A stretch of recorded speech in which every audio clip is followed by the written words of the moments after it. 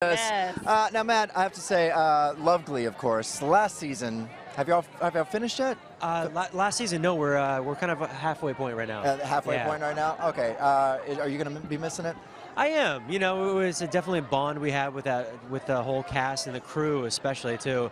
It's uh, it's been a lot of ups and downs, but uh, it's it's been a, a a place in my in my life for the past eight years almost. So uh, it's gonna I'm definitely gonna miss it. Nice. Now, uh, we love you on Broadway. I saw you in Hairspray, which was incredible. And I hear rumors that you might be heading back to Broad. Yeah, going back to Broad. Yeah? Is that Back what we're just shortening It's back to? Broad. Just yeah. Broad? That's yeah, what the kids are doing these days. So the rumors are true. The rumors are true. Yeah, I, I just signed on to uh, Finding Neverland, and it's going to start. Uh, we open in April, and I'm so excited. It's gonna be me and Kelsey Grammer leading the cast, and it's uh, you know Finding Neverland. If you haven't seen the movie, it's kind of the backstory of Peter Pan. One of my all-time favorite movies. Isn't it I mean, Oh, incredible. So visually, this is going to be stunning. I'm I gonna, do my best. Johnny Depp. Yeah. Oh, well, Matt, dude, it was so good to see you. Enjoy the American Music Awards. I know this is your first rodeo, so No. have fun tonight. Yeah, And, thank uh, you. Right now at the Galaxy stage, I think they got five seconds.